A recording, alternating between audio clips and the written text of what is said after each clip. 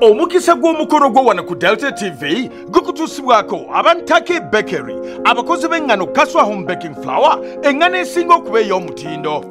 Ntake Bakery Company Limited.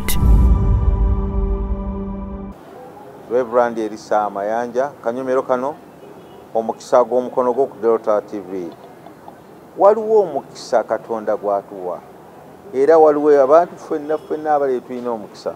Naye ekireesa obuzibu abantu bangi bazanyidde omukisa gwabwe. Njagala okusaba nga nkwegayirira nti weewale okuzanyira omukisa gwo.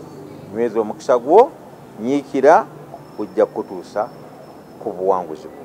Weebale okubeera ku delta tv era gyekuumireko obutagivaako omukisa gw'omukolo gwo wano ku delta tv gukutuusibwako abantake bakery. Abakozi b'eŋŋano kaswa home baking flour eŋŋano esinga okuba ey'omutindo Ntake Bakery Company Limited.